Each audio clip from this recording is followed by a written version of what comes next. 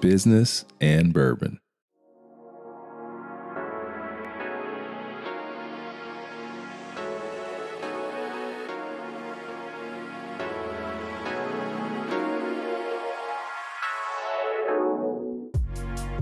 You project big, dude. You're five seven, but I see six one, brother. I'm telling you. I took this route, and yes, I do wear sweatpants often in my workplace. This is the anti-entrepreneur porn show. Period. We all have fantastic ideas, but it's the action that we usually lack. Like, what made you say, "Okay, boom, I'm going to quit and I'm going to do this"? That was the catalyst, right? Baby number one and then baby number two to expand the business. We didn't just dive into this without having something to fall back on. And my wife, she's got a nice, steady job. So the moral to this story, guys, is make sure you got a good partner in your life. That was not the best move for our family at the time, so I had to get a little bit creative when I got to Atlanta after we got married. So at the end of the day, even if stuff doesn't work out, you Right. can make I- meth. Breaking Bad with Sam. we don't duck, we don't dodge. I should drop the mic on that shit. I like that one. It motivates me to stay the course and continue driving, but it also creates that self doubt like, oh, maybe I should go be normal to fit in better. But like at the end of the day, I know it doesn't matter. I haven't taken another paycheck since 2013, so something must be going okay. Okay, okay, okay, okay. Welcome back to Business and Bourbon, where we have real talk with real people. I'm Ronnell Richards, the creator and your host. You know, I'm privileged to talk to and interact with and coach a lot of amazing entrepreneurs. And, you know, there's one thing that I find very consistent amongst a lot of successful entrepreneurs, and that's what drives them. I think you'd be surprised. It's not money, it's not cars, it's not houses, it's not other trappings. It's freedom. Yeah, freedom. So, on today's episode, I invite Sam into the bar and he sits down with me and has some drinks. And you know what we talk about? We talk about the freedom that his business has given him. And we talk about his journey as a PhD chemist to now a successful fitness business owner. So, with that said, it's time to go, guys. Let's hop to it. Let's get into it. Grab your glass, grab your mug, grab your cup, whatever it is that you like to drink out of. Pour your very favorite beverage into it sit down right next to us here at the bar and enjoy a little business and bourbon. All right, welcome back to Business and Bourbon, where we have real talk with real people. The weather is changing, it's chilly outside, but it's warm inside, and the business is still popping in Atlanta. I'm at King and Duke here in the heart of the business district of Buckhead in Atlanta. Again, if you guys get out here, make sure you come out and let them know let them know you heard about it on Business and Bourbon and you had to come through and see where the Business and Bourbon guy hangs out and gets his drinks on. You guys are probably hearing some great background noise because it is popping in here right now. I'm seeing business deals being done all left and right. That's why we come here. I want you to feel the energy. I want you to feel what we feel when we sit down with another great entrepreneur and talk business. So, with all that said, it's time for that. I'm going to introduce my next guest. This guy, he's got a really interesting story. I think you guys are going to really dig, and a lot of you can identify with. I'm not going to steal his thunder. I want him to get into it. And before I screw up your last name, Sam, tell him how to pronounce your last name, brother. Magavro. Sam McGovero is here live on Business and Bourbon. What's going on, brother? Not much, man. Thanks for having me. Man, it is truly my pleasure. I'm happy to have you on. Happy to have you share your story. Before we get into it, let's talk about really quick what do you do? I own a fitness and corporate wellness business, and we provide solutions for individuals, solutions for companies. We look to improve employee engagement. We look to improve the health of a corporation, health of a business, and we attack it from a variety of different fields, both the fitness and nutrition piece, and then you tie in sleep and stress management, and then we look at kind of the social interactions that both employees have mm-hmm. and the individuals we train have with those around them. So here's the fun thing about that, guys. How he got there. this is going to be fun. And I think this is something Yeah, that a a lot of you guys are going to be able to identify with um, as you think about changing your direction in your life. You're like, hey, I got this degree. I went to school for four, five, six, seven, eight, nine, whatever it is years. And like, you know what? I got an itch to start a business. Well, this guy did that. and, and and we're going to have some fun talking about that. Before we get into that, I want the people to know who you are. So I always ask a few fun questions, right? I just want people to see who you are. This is what business and bourbon is about, like vulnerability and a little fun. Let's give the people some real talk. Before we get there, one of the questions I asked you in your survey, which we do a pre-show survey, is I always ask people about hip hop because I'm a hip hop head. I'm a hip hop kid, man. I'm mm-hmm. I'm from that generation. So I Right. said, "What's your favorite hip hop?" And you said, "What? What was your answer to that?" I mean, I like a little Biggie, right? I mean, It is, but, hey, before that, but go- I'm a keep '90s grunge rock junkie and still living there. And I love you know, it. That's it. That's if you come in our gym all day long, that's what you're gonna Is that what it is? Until someone grabs the iPod and changes on us, right? So I'm. A, I'm So a- if you guys could see Sam right now, and if you're watching the content, you can see he's got a grunge shirt. He's got his plaid shirt. He doesn't have a plaid shirt on. I'm just kidding. I got a flannel on from The- 1993. The, flannel, yeah. uh, so who's your favorite group? Grunge. Grunge. Um, Smashing Pumpkins and Alice in Chains. Smashing Hands down. Pumpkins, Yep. Billy. huh? Okay, Hands all right, down. all right, all right. I, I can get with the little uh, grunge myself because Yeah. that's the generation. Like Shaky Knees this year. I, I'm gonna go. Are you They're really? coming. Yeah, Smash Pumpkins. So yeah, I Uh-huh. I'm gonna let you guys know. Yeah, I graduated high school in 1994, and in 1994 there was no bigger band than Nirvana. They were just everything back then. So Nirvana, and you had um, who's the other Seattle group? The other Seattle group Yeah. is Pearl Jam, Sound Pearl Jam. Nirvana. You had all of But- them but coming in and out, but they were kinda leading Pearl, it. Pearl Jam, yeah, Yeah, they were, okay. they were they were there. so yeah. I get with that a little bit, and I can get with that in the gym too. Gets, It gets me fired up. Yeah, All right, cool. But if it is a hip hop time, it's Biggie. it's Biggie. Yeah, yeah. I'm not mad at that. Juicy. which is also a 94 joint like year. 93 94 yeah, Yeah. okay all you were graduating. I was turning 13 or 14. Man, shut up. right Time, man. why you had to go there bro that's why i don't tell people Uh-huh. no just kidding listen i was watching this um Deon Cole i don't know if you're familiar but he's a comedian he's hilarious Mm-hmm.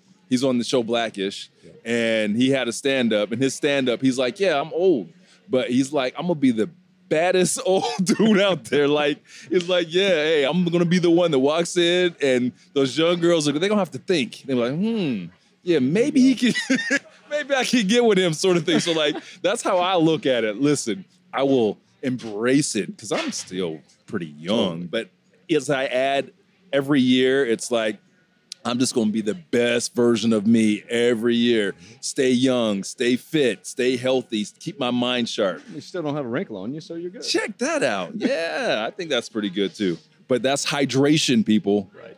Hydration. Drink your water. Water. Speaking of that, what are we drinking? I'm drinking an old fashioned. Ah, is that that your favorite drink? Only when I go out. Yeah. I'll never make one at home. It's too much work. I don't want to muddle anything at home. So Manhattan at the house and uh, old fashioned here. What are you drinking? Nice. It's called Have and Have Not. Don't ask me what's in it. It's just good. I trust them. I'm like family up in this piece. So I just say, hey guys, make me something that's good, and they make it, and it looks like this. And it's del- if you guys could see this, it's super pretty. it's kind of like blush in color, but it's tasty, and it's got a little pepper in it. So if you get in here, try it. All right, let's clink it up. Cheers.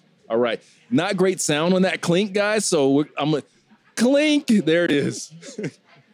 All right. Let me get a little sip. So tell me about your life a little bit.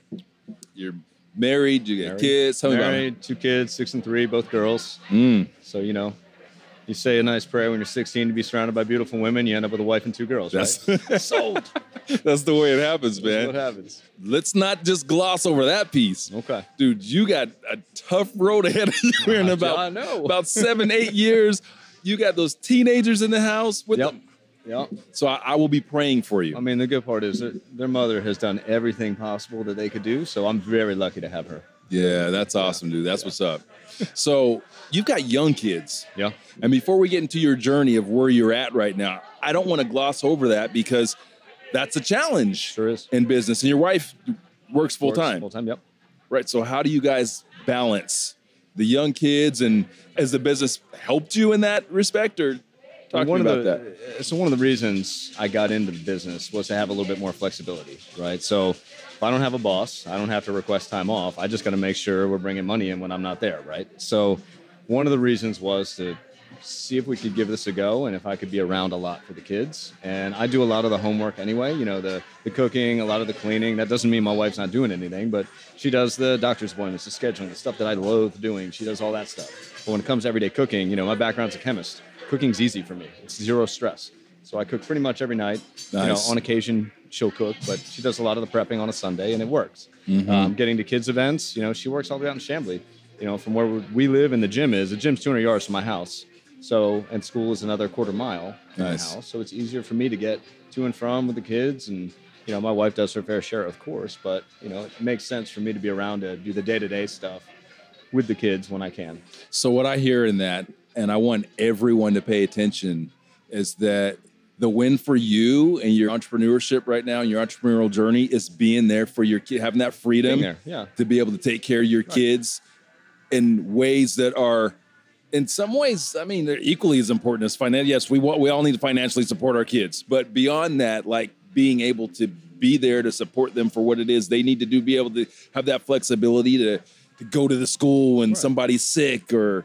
Or like today, I had lunch with my three year old. They had Thanksgiving lunch at 11 o'clock this morning. So, you know, if I'm working a, a corporate job or something like that where I'd have to request time off to get away, instead, you know, I left the gym at 10:56 and got to school at 11, and it was great. Had lunch with my kid for 45 minutes, came back, did some work, and well, then I came here. Right. that's So what's up. It's great. That's Um, what's up, Sam. Let me ask you a not question. but So, your daughter, which daughter was it? Your six year old? my three year old. your three year old. And I actually couldn't go to the six year olds yesterday because I had clients and I had to work. So Ah.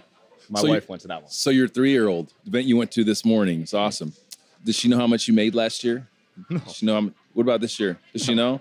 Does- Does she care. care? No. Exactly. Right. That's what's awesome, dude. I love that. And that's something that we all need to take from that. Right. Take from your experience. I think like at the end of the day, if you have kids and you're in entrepreneurship, your focus should be on the freedom that it gives you to be a better person to those people that love you because it can go the other direction. Right. And if it goes the other direction, that's how you end up with kids that drive Ferraris and Lamborghinis, but hate you. right, right. Right. And that's not the goal. yes. I have kids I would I would hope happen. not. I would hope not. I know it's not my goal. No. So you threw out a little teaser there. You talked about science. And this is the thing. Okay, before we get into this, like I want everyone to listen closely because there's a lot of you out there that again, you've gone out there, you got your degree, you did what you were supposed to do. And there's nothing wrong with that. That's awesome. You always have that to fall back on. But now you've got that itch. You're like, man, I want to go open up a yogurt shop, right? I'm a I'm a engineer, and you know what? I want to go open up a Papa John's, right? Because you want some of these things we talk about, freedom, whatever it is. You did that. Tell the people, tell tell us about what you went to school for and what you were doing before what you do now. So I did undergrad as a chemistry major with the intent of going into chemical engineering. So go to a master's program, get into chemical engineering, and then just kind of go in that route because engineers, you know, they make great money, have Yeah. good careers. It's safe. There's never going to be a time when we don't need engineers. Chemical And, uh, chemical engineers specifically. so at the end of the day, even if stuff doesn't work out, you Right. can make I- meth. Like Yeah, totally, because that's what you do. yeah, definitely. like Whole TV Heisenberg. You series, can right? That's it. Right? Breaking Bad with Sam. Right, anyway, right. go ahead. God, if anybody's listening to this, I'm not making math. He's right? not You making know, meth. nothing to That's do with that. Uh, Hey guys, Ronnell here. Just wanted to take a brief moment to thank you for supporting the Business and Bourbon podcast and supporting Business and Bourbon live events. If you're a regular listener or you've attended one of the events, then you understand the importance of wisdom and that it's something that's earned and not learned. And also how that can give you an edge in your business and on the sales floor. If you're interested in one on one coaching with me or having me deliver a sales workshop to your sales team, you can reach out to me and my team at ronell at ronellrichards.com. And either myself or a member of my team will be in touch with you ASAP. Thanks again for listening and enjoy the rest of the show. But no, I, I went into that. It was safe. It was I enjoyed it. And then by my you know sophomore year of college, I had already enjoyed chemistry so much that I scrapped the engineering idea. I was like, I'm going to go to grad school, go get a PhD in chemistry. Yeah. So that was my next track. You know, I did research in the summers while I was in undergrad, and then graduated college in 2003. Took 10 days off, and then started grad school on a research fellowship. So it was, you know, very quick getting into chemistry really deeply, and then spent the next four years doing research chemistry. Got out, did a little bit of like scientific consulting, um, and then I went in, into teaching for five years.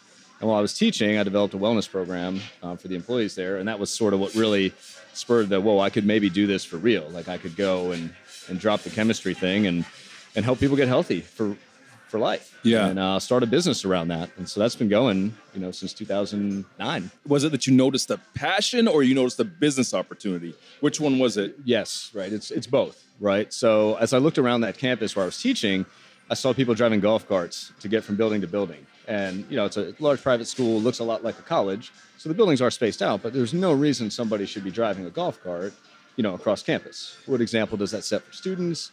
What does that set for yourself? You know, you're trapped in a desk all day or in a building all day and you're not out walking around in the sunshine, you're driving a golf cart. Yeah. So I noticed that and there was nothing on campus at that time to help employees get fit. You know, there was it's a very awesome, wonderful school with great resources, but they weren't doing that yet. Yeah. So I pitched this wellness program, and you know that's like I said, it's been going since 2009. It's still going, and we're still there. So what I want to know is why what made you make that leap because you know, you've got this comfortability, right? That comes with the gig, comes with the job. And hey, I went to school for all this stuff.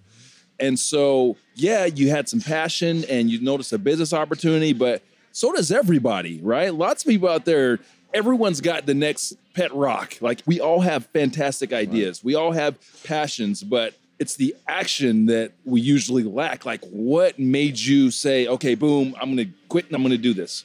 I mean, it was building for a little while. I was moonlighting in the fitness business, kind of morning and evening, and you know, working 12 to 14 hour days because I could. We didn't have kids then, and then find out we're pregnant, and, and that's it. You got to make a decision. You're either gonna stay doing what you're doing, or you're gonna take a leap and you know dive into this fitness thing full time. And that was really the catalyst. Like I wanted to be home uh, more, have a flexible schedule. I couldn't work 14 to 16 hour days you know, trying to do both. And I had an opportunity to take on a business partner, join the gym he had already established, and then keep pushing the corporate wellness piece. And we did that. We opened another gym, sold a gym, and you know that all started in 2013 officially. So I haven't taken a paycheck outside of myself since 2013. So, Sam, some people, you said part of the catalyst was when your wife got pregnant. Yeah. I think most people would be like, okay, pregnant, okay, now super conservative. I'm afraid. So, yeah, I, this business idea, that's cool, but I want to get a Yeah. paycheck. I mean, there's a pattern here, right? Like that was the first catalyst. When we found out we were having the second kid, that's when the current Smugs Fitness location opened. Like about three weeks after we had second baby. So there's like a pattern here. I don't know why it happens that way, but when things get kind of stressful and tough, if I know I can sort of rely on myself and dig deep and look in the mirror and be like, "You're responsible for this," it seems to make things get a little bit better.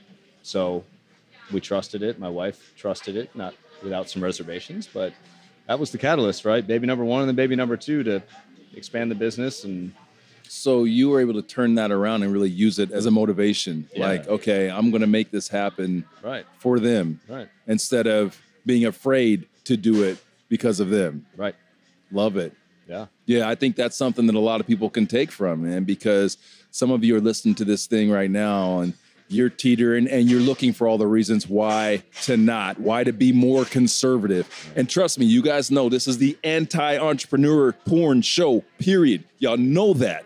So we're never going to be like, oh, just throw all the caution to the wind. No, No, but by sharing Sam's story here and your example of what you did in turning that around and using that as fuel, I think that's probably something that people can apply to their own lives. Absolutely. You know? and let me add to that too, though. Yeah. Right. It's a calculated risk. You always have to ask, what's the absolute worst thing that can happen? Yes. Right? Like, if this doesn't work, what can happen? And for me, the absolute worst case scenario is I go back and teach. And teaching is not a bad thing at all. It's fantastic. I love it. Did it in grad school, did it out of grad school, right? It's if that's the worst possible place I can go, I'm doing pretty well. Yeah. So if you can figure out what your worst case scenario is and you can deal with it and accept it and be proud even there, then I'd say, you know, take that calculated risk, right? Yeah. You gotta So I think that's a great ad. One of those calculated risks and things that people are going to be afraid of, though, is the financial thing, right? Right. The financial aspect of it. So yes, you can go back to teach, but like, what about the money? Yeah, I mean, we again another calculated risk. We saved a lot. We didn't just dive into this without having something to fall back on. And my wife, you know, she's got a nice steady job that she loves. Um, That's why we're in Atlanta. She got that job three months after we got engaged, and I was going to go do a postdoc up in Pennsylvania and uproot her from, you know, full time government employment for thirty two thousand dollars a year as a postdoc. Like that that was not the best move for our family at the time. So I had to get a little bit creative when I got to Atlanta after we got married. So, you know, you, that it's a calculated risk, but I also had that steadiness from my wife that like we're not going to go hungry. Um, as long as she's still working, we're not going to go hungry, and she Yeah. likes what she does. So it's a allows me to be creative and take some risk, knowing that she's steady, Yeah. and I can always fall back on that teaching if, Yes. if I needed to. Those are the stories that need to be told. Yeah, Thank you for sharing that. That's what people need to know. Um, it's not because again, if you were to just look at a lot of social media, you look at a lot of popular media, they're going to say, "Dude, just go do it." And hey, business is a risk. Period. Right. So yes, like I'm a push the chips in guy. Right. I just push the chips, all the chips in. Let's go. But I know what it is that I'm signing up for. A lot of people don't really realize that, and they make that decision, and they're not calculating the risk and understanding what's truly at risk or mitigating some of those risks like you did. You, like myself, my wife has been gainfully employed for a long time. And so that was able to help with like insurance, right. right? right, right. I mean, well, when I listened to the episode with your wife, Yeah. I saw so many parallels. Even like when you were talking about your first date, Yeah. it cracks me up. So my first date with my wife, I was on the way to pick her up, and my car broke down. She didn't even have a cell phone Mm-hmm. at this point. You know, we, she had a landline. Barely any way to even get in touch with her because I had to go find, you know, find a payphone to give her a call. My car breaks down. It's like first real date we're going on. You know, I had no money. I remember going, I remember going to another date shortly thereafter because she gave me another chance, mm-hmm. and we had both got money out of the ATM, and I had 176 dollars in my checking account. 176 dollars. I took out like 40 or whatever for dinner. We're not fancy people, and we weren't then. And she had a hundred times more money in her checking account than I had because she was working full time as a nurse while going to school. So she had like real money in there, and had a full ride for school. And I had, like I said, a hundred times less money than Yeah. she had. And she's kind of like your story, you right? married You well. didn't have a wallet to buy gas. Yeah. You- you know? so so the moral to this story guys is make sure you got a good partner in your life even if it's not a spouse like for us family whatever you got to have help in this thing like Yeah. no man no woman is an island we all had help i had help you had help our spouses our best friends were able to be there for us and to help us to live this dream. Now everyone's benefited from those things. Like in your life your, your wife's benefited from from your business as well and the things. And it's not it's not all just again like we talked about before it's not all just financial. There's like hmm. being there and being able to be present for the things that matter which is huge just huge. I- will never say that enough because i don't want to gloss over that because my whole thing in entrepreneurship entrepreneurship is about freedom. It's the american dream. It's the american way. Yeah. Freedom I feel like growing my I can't grow hair like that, but you know, like a hairband and getting up there and having the guitar and doing my freedom thing. Anyway, all right. I digress. This is what I do. I go off when I segue, but I'll bring it back. Squirrel. All right. So tell me a little bit more about what you're doing in your business right now. You started out in entrepreneurship in 2009, right. right? The current iteration of your business since 2013, right? Yeah, I mean, owning gyms exclusively and doing the corporate wellness piece full time since 2013. Yeah. But again, I had a business partner until the beginning of 2016.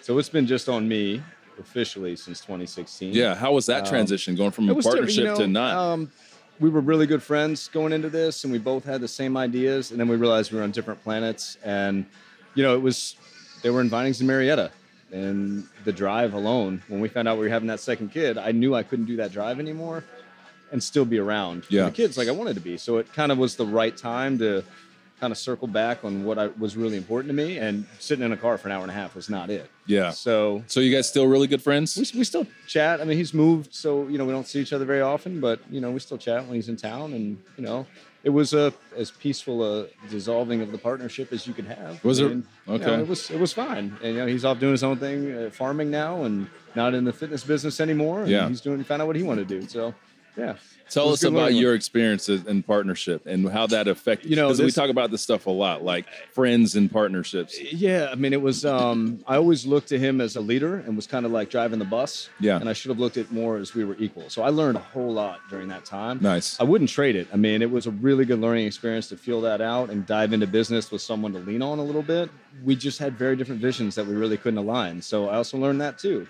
Maybe I do have some idea of what I'm doing, and I should have spoken up a little bit more than I did. And that's uh, not to place blame or anything like that. It's just to say we were on different planets, and had maybe I spoken up a little bit, we could have gotten those planets a little more aligned, and maybe maybe we'd still be doing that. I don't know. You know, So- we just so had different visions. What advice would you have for some folks that are out there in a business partnership right now that maybe you would have told yourself a few years back, like how to get through some of these things? Because you know, a lot of people go in partnerships, go into business with friends, Yeah. and it can be difficult. I probably wouldn't do it with a friend.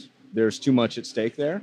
And if you really want to be friends with that person like forever and maintain a friendship relationship, it's hard to maintain business and friendship. It's tricky. Um, Yeah, it is I'd say the same thing with family. Unless you're in the family business, I don't think I'd approach one of my family members and be like, hey, let's start a business together. Because I, I think there's, you know, you're doing Thanksgiving together. Yeah. You don't want to be fighting over, you know, P&Ls last month or something, right? Like, you don't want to do that. So the other thing I would do uh, about getting into a partnership and, and the advice I wish I knew was don't forget your own worth, right?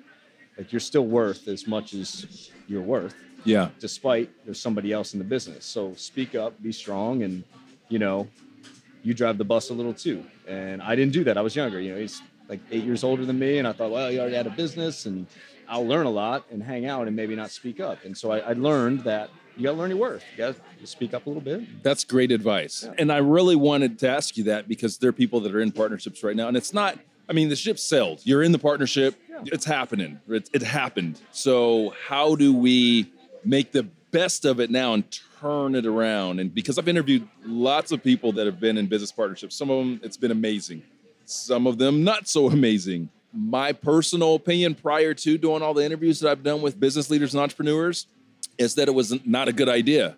I haven't changed that, but I do see some of the merits of it now. Some of the merits in terms of having someone to share some of that emotional load. Um, and so, and it's a reality. It's going to happen because there's someone that's listening right now or someone that's not listening, and they're like, hey, I got this great business idea. Let me go get my best friend. Let me go get my cousin. Let me go get my brother. And they're going to do it. So when they listen to this, I want them to know, okay, the ship has sailed. What can I do so we can kind of course correct, take someone else's experience and having dealt dealt with partnerships and apply that so they can be successful or get their ship going in the right direction. So I love the advice that you have. Anything else? with that again clearly define your roles figure out what you're, you're both really good at and not really good at if you have a business partner that is good at what you are not good at doing then they can take on that role and drive that part of the business if you both aren't good at something you better figure out how to outsource this instead of fighting over the thing you're both not good at doing and clearly define that from the start and then i think you know partnerships can definitely work and ours did work it just ultimately we were heading different directions. Uh, Yeah. You know, I'm really grateful for the experience. I learned so much. You know, like I always say, like that partnership and that first business really was like getting a master's degree in business, coming from a chemist, right? Like I had no business experience outside of what I was able to learn in books and podcasts. And You can only get a master's degree in business by being in business. I firmly believe that. What about you? I agree, Yeah. 100%.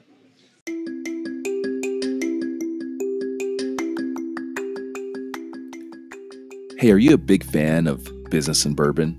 Have you been to one of our events? How'd you like to interact with our special VIP guest and other like minded business professionals just like you? Well, here's your chance. Go to businessandbourbon.live.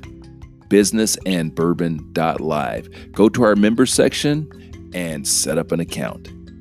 We're going to launch our new platform in 2020, and you will have the opportunity to interact with all of our guests and other great business professionals and entrepreneurs that are just like you.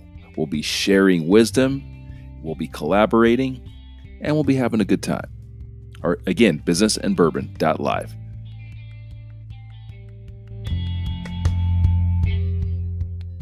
Thank you for sharing. That was fantastic share. And there's someone out there that's listening to this that's going to be like, yo, that that is right on point. That's what I needed. Next question for you though. we don't duck, we don't dodge. Since 2009, you've been in entrepreneurship.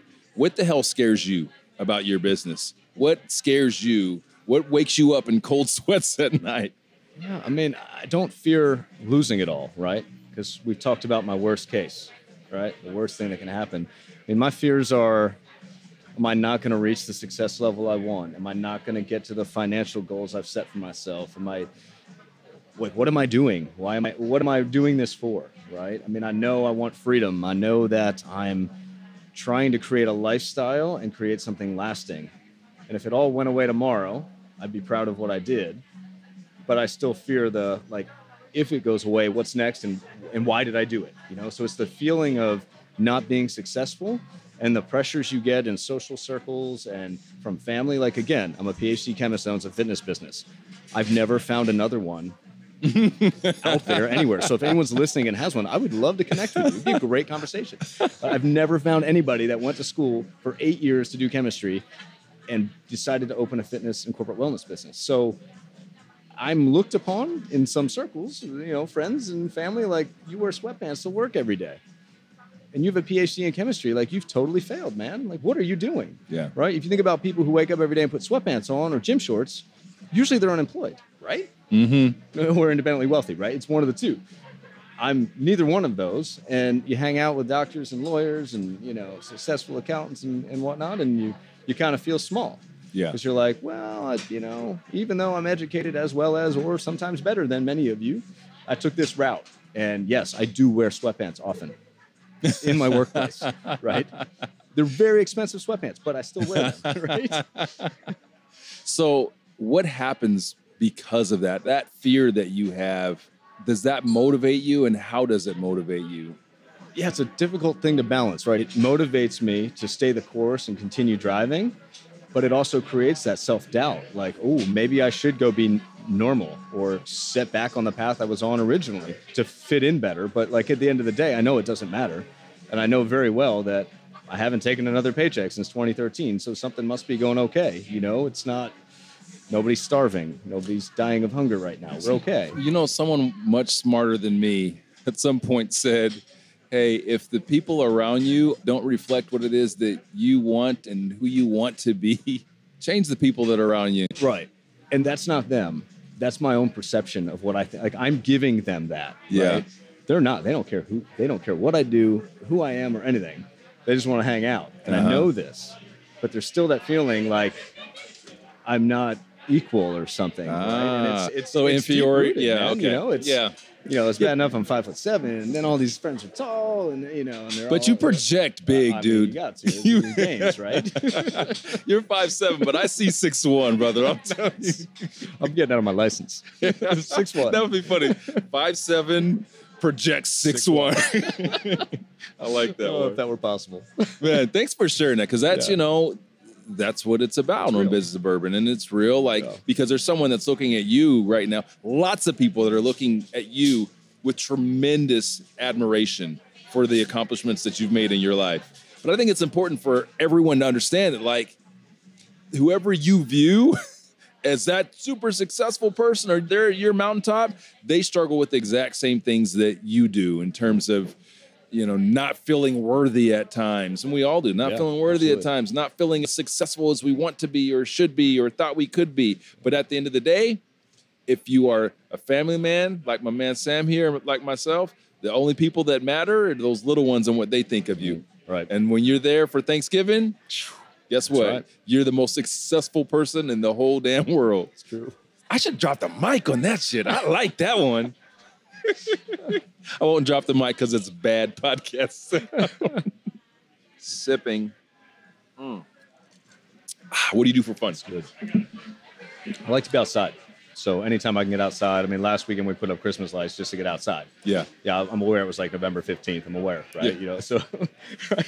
It's a little early, a little but early, but the kids want to put decorations up, so we put lights on. It was a beautiful day. Get Yeah. outside. Now, I enjoy yard work, right? Like, who likes yard work? While my wife was out of town back in the summer, I laid a whole path in our backyard, put the pavers down, did all that stuff, and I did that between the hours of like eight and midnight when the kids were asleep. I went Yeah. out and did yard work because I like it, right? You know, That's throw a- the monitor outside and Yeah. just you know lock all the doors, right? And I love being outside. I like to hike. Uh, you name the sport, I'll go do it. Played soccer and tennis in high school, and then again in college. Mhm. I mean, high school I played pretty much everything, but college was soccer and tennis, and then grad school played soccer the whole time. I mean, Yeah. I like to be outside and active. I like to make bad music on the guitar, uh, but that's more of like a therapeutic thing, right? If Yeah. I can just spend a few minutes doing something I'm really, really bad at doing, it's really therapeutic. Mm-hmm. Um, you know, watch some sports, all you know, the normal guy stuff, and then you know, read a book, do a puzzle, board game, You name it. There's very Yeah. few things I don't enjoy.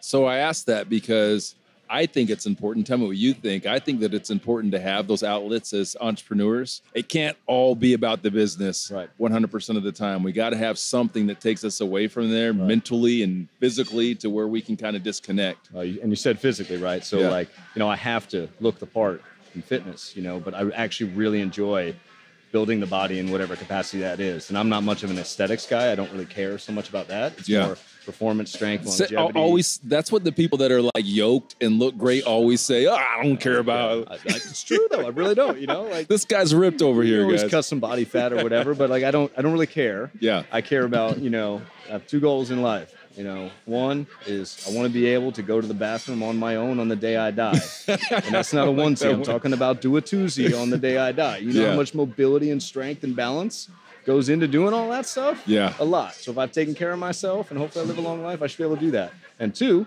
is I want to shoot my age in golf. And at my current, you know, rate here, that means I'm going to be like 78 to 88 before this happens. So Yeah. I better be in damn good shape if I'm going to shoot an 88 at 88 years old, right?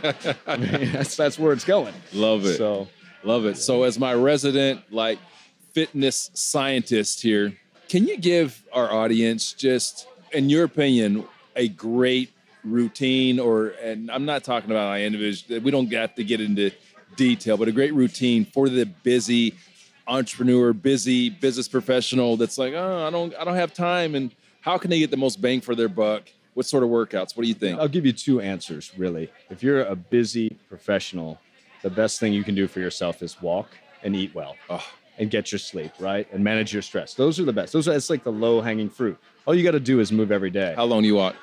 10 minutes. 10 minutes every hour, every two hours, right? It doesn't have to be, you don't have to go out for an hour and a half long walk. Just do it frequently. The body needs to move. The absence of movement is what? Death, right? Yeah. You stop moving, you're pretty much dead. Whether you're still alive as you're dying, if you're not moving, you're going to die faster. So you move yourself, make sure your nutrition's on point, whatever that means. I don't care what you eat, just as long as it works for you.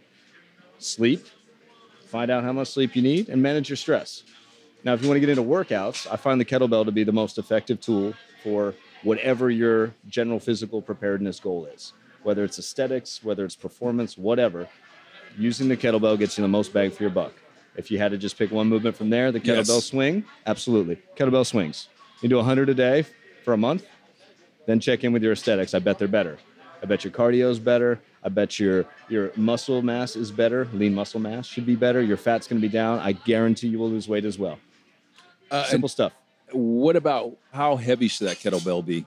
It's a tricky question, Yeah. right? Because there's a lot of technique and form that goes into a kettlebell swing. So if you're Mm-hmm. going to learn a kettlebell swing, go learn from somebody who is a good coach, reputable, and has been taught how to swing a kettlebell, you know, effectively. So we're a Strong First affiliated gym. You find a Strong First coach anywhere in the country, guarantee they can teach you to swing a kettlebell. If you're in Atlanta, where can they find you?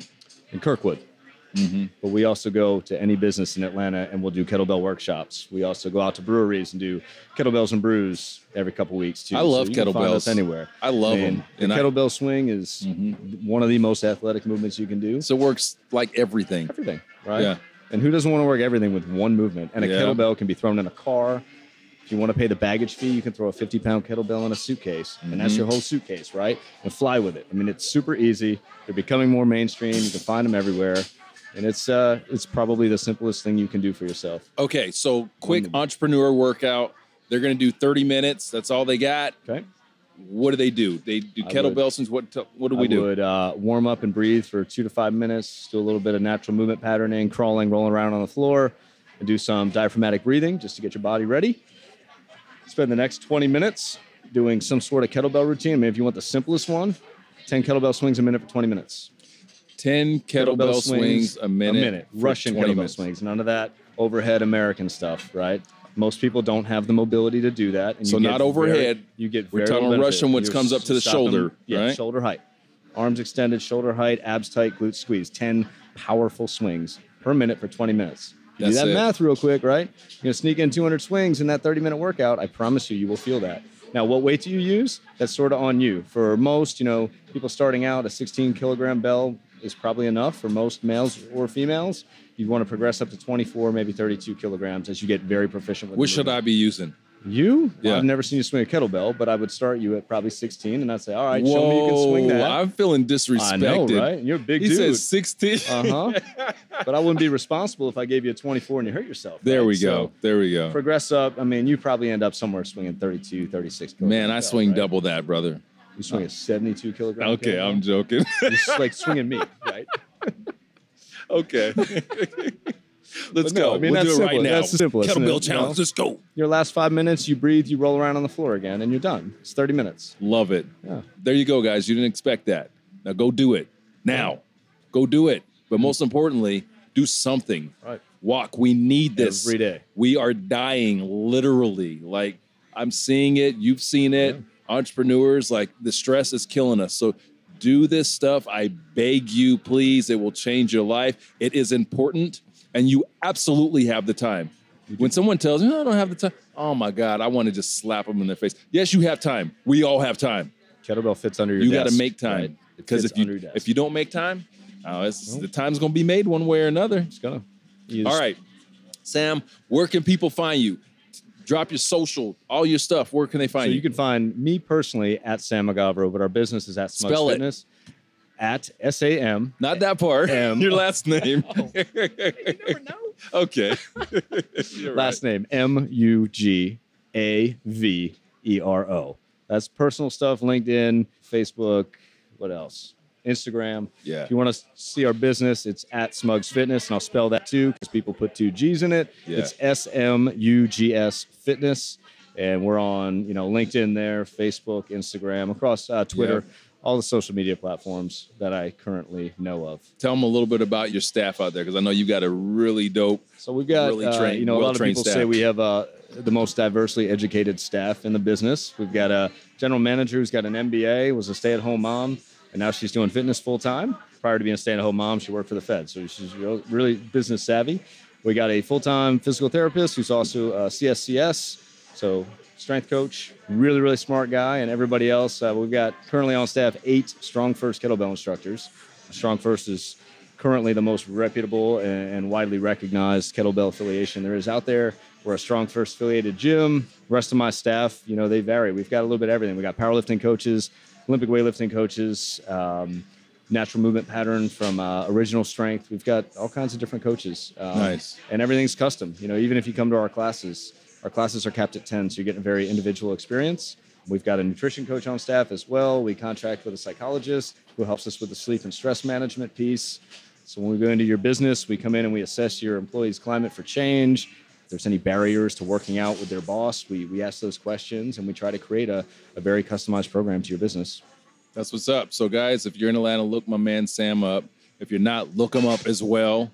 Great guy, great business. Very much appreciate you sharing your story, sharing your advice. And I think it was a fantastic show. So, we get to end it now with the only way we can end on Business and Bourbon. I know you've listened to every episode. Oh, man. Okay, you can do it by yourself then. We out. There it is. Thank you for listening to the Business and Bourbon Podcast. Please subscribe. And if you like us, give us a five star rating. If you don't, uh, have another drink. Maybe you'll feel a little bit differently. If you'd like to check out our videos, you can go to businessandbourbon.tv. That's businessandbourbon.tv. In addition to that, we're currently touring the United States with our Business and Bourbon live show. It's a fantastic show where we do whiskey education and we do some Q&A and it's a great networking event as well. So, if you'd like to attend one of our Business and Bourbon live events, you can go to businessandbourbon.live. Again, that's businessandbourbon.live. Thanks again for listening. We'll catch you the next time.